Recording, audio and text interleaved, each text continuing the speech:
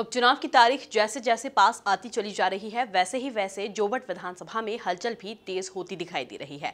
जहाँ कांग्रेस का चुनावी मैनेजमेंट देख रहे विधायक रवि जोशी और बीजेपी के लिए चुनाव मैनेजमेंट की ज़िम्मेदारी संभाल रहे विधायक रमेश मेंदुला अपना अपना दम दिखाते हुए नज़र आ रहे हैं।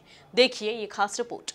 जोबट विधानसभा में तेज होती चली जा रही उपचुनाव की हलचल। कांग्रेस के लिए चुनावी मैनेजमेंट देख रहे विधायक रवि जोशी बीजेपी ने विधायक रमेश मेंदोला को सौंपी जीत की ज़िम्मेदारी। कांग्रेस और बीजेपी के मैनेजमेंट मास्टर्स की साख दाव पर। जोबट विधानसभा उपचुनाव की जंग को जीतने के लिए बीजेपी और कांग्रेस दोनों ही दलों के दिग्गज अपना अपना दम लगाते हुए दिखाई दे रहे हैं।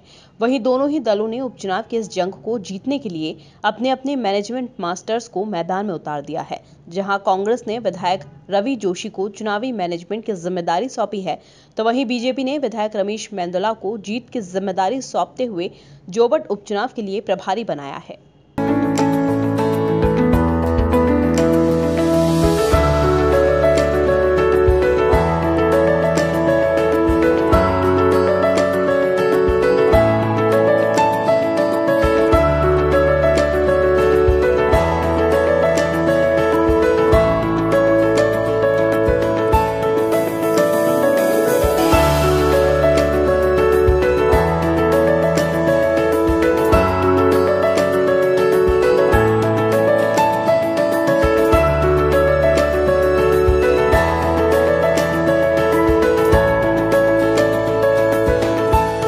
कांग्रेस के मैनेजमेंट मास्टर विधायक रवि जोशी की बात करें तो कांग्रेस के काफ़ी सीनियर लीडर्स में एक रवि जोशी लगातार जोबट की जनता के बीच दिखाई दे रहे हैं, जहाँ वे उपचुनाव में कांग्रेस को जीत दिलाने के लिए हर संभव प्रयास करते हुए देखे जा रहे हैं।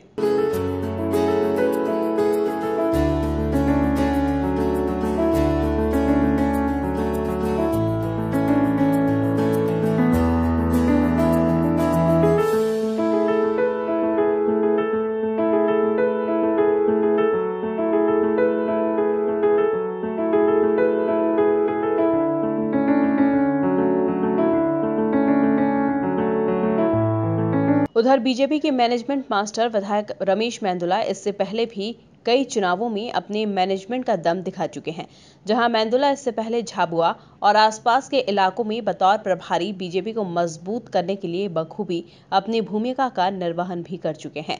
वहीं अब मैंदुला ने जोबट उपचुनाव में बीजेपी को जीत दिलाने के लिए मैदान संभाल लिया है, जहाँ वे बीजेपी प्रत्याशी सुलोचना रावत को चुनाव जिताने के लिए हर संभव प्रयास कर रहे हैं।